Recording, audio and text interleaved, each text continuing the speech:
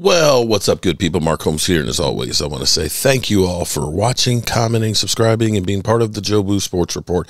Without you guys, as well as you ladies, you know that this literally does not work. Woke up this morning in Harrisburg, PA, back here at my house for basically a pit stop. I feel like Papa was a rolling stone, yeah.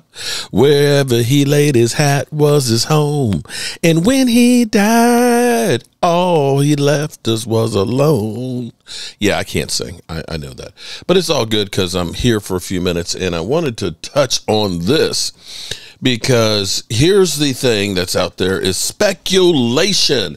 While I was coming down the road, I was listening to Skip Bayless, Baseless, going off on Dak Prescott. And Keyshawn Johnson actually um, kind of put them back in place because you know uh, the the only problem the Dallas Cowboys have, according to Skip Bayless, is Dak Prescott. That's it. Nothing else. Nothing else. And be that as it may, a lot of people have that same mentality.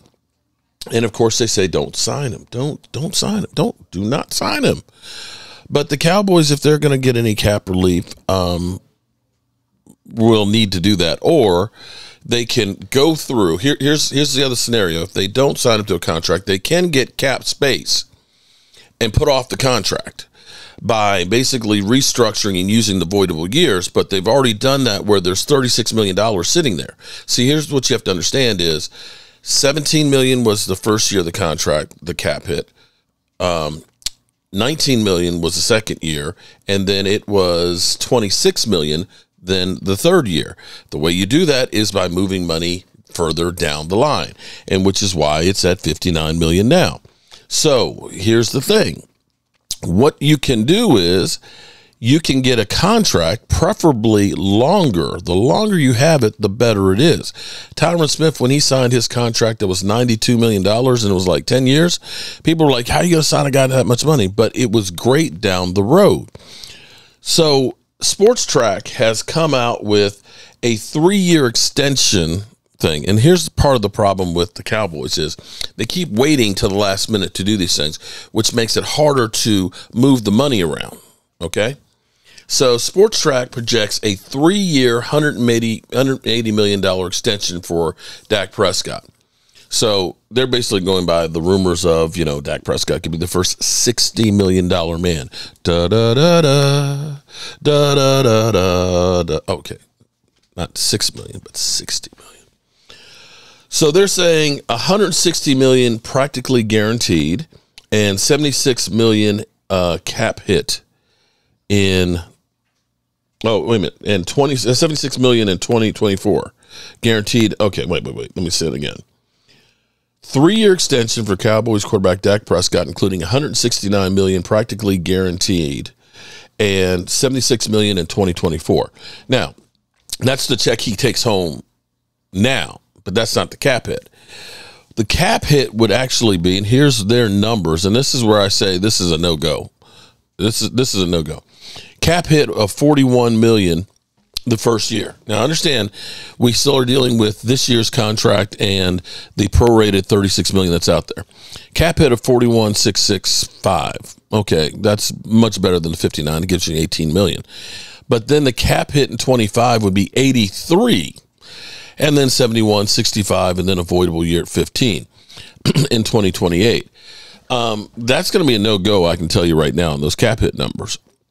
And the thing that they'll actually need to do is, and this is where Dak Prescott can work with him, is actually make a longer contract with more voidable years to make that contract more palatable. Um, let me do the same thing. Let's see. Because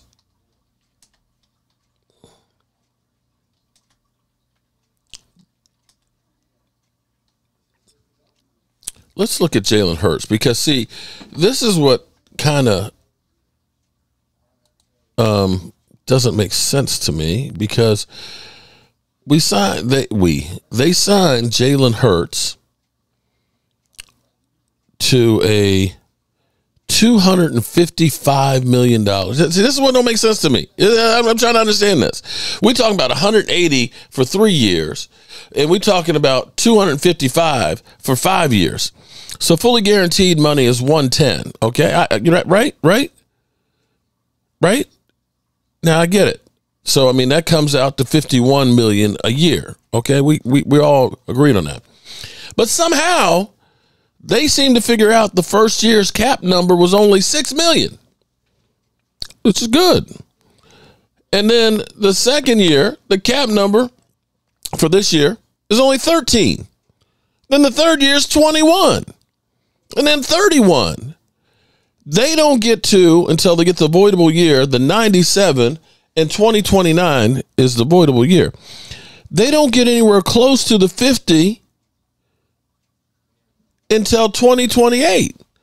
How is it when we look at Dak Prescott? Look at this. Hold it. How, how is it we talk about 60 million, we taking 41 the first year and 83 higher than the 60, 83 and 71.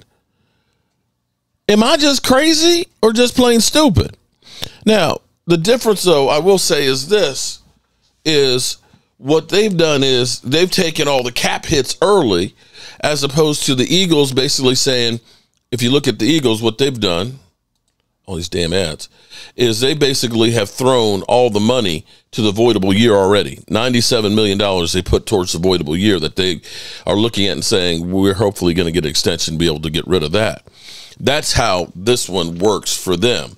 And you see how they have the low cap numbers early and figure he's going to be our starter for the next five, six years as opposed to Dak Prescott, they do the reverse on this and they say, let's take the big cap hits right now. No. You want to take those bigger cap hits down the road because the salary cap went up like 31 million this year and probably will go up like that and more next year. So, you know, this is going to be interesting how it works out. And again, that's not from the Joneses, that's not from the Cowboys situation. That is Spotrac. And in some regards, I will say the way that they've done this the way that they've done this is the wow factor. Because now everybody's going to talk about 180. Dak Prescott going to be 180. He going to be a 83 million dollar cap hit. Man, let that guy go. They purposely have done this uh, projection so it will get the biggest play. You know what I'm saying? They want to make it look like the worst case scenario to get you to watch. So don't get fooled on it. There's no way I would, uh, you know what?